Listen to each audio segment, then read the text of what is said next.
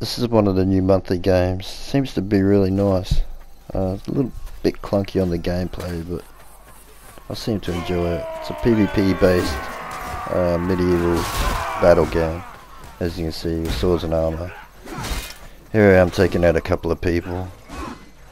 Before I get taken out myself, obviously. There's a lot of combat in this, so it's pretty ruthless. You can get surrounded, hacked, slashed, arms, legs taken off.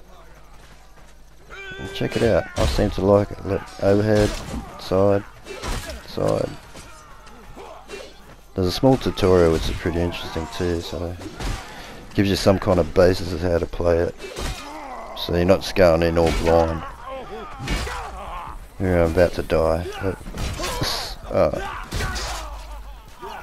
So you can actually attack people from the ground with a knife if you don't get slaughtered straight away. Your teammates can also pick you up if you're down, so it's got some good mechanics in it.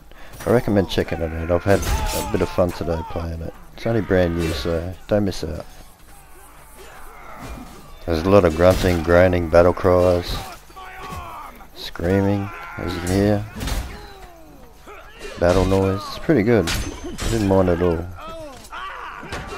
So there are objectives to complete in this game. Right now we have to push convoy forward. Uh, we're probably not going to do it, but that's okay. Matchmaking doesn't take very long at all, and you roll on from one battle to the next one. You see, it's quite a lot of fun. So if you're looking for something to bridge the gap for now, uh, I recommend give it a shot.